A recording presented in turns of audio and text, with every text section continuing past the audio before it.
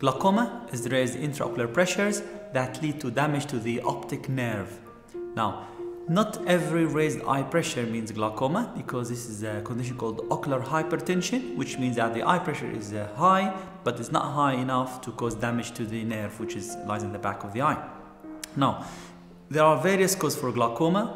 Most of the times, we don't know the cause. It's just uh, one of those things which affect the eye means the, the fluids cannot be drained out of the eye so quickly and, and so effectively, which means the pressure starts to build up inside the eye.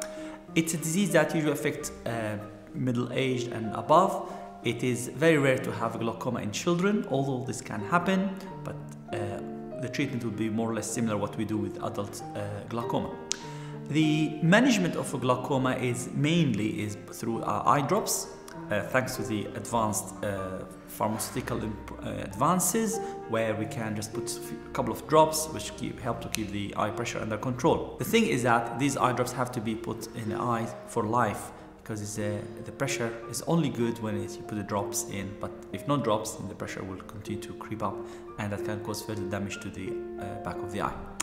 Uh, if drops alone is not enough, then surgical intervention might be required and there are various ways to do the surgery. Some are very uh, advanced called minimally invasive uh, tubes which are tiny stents put inside the eye to allow or to enhance the drainage of the fluids from the eye.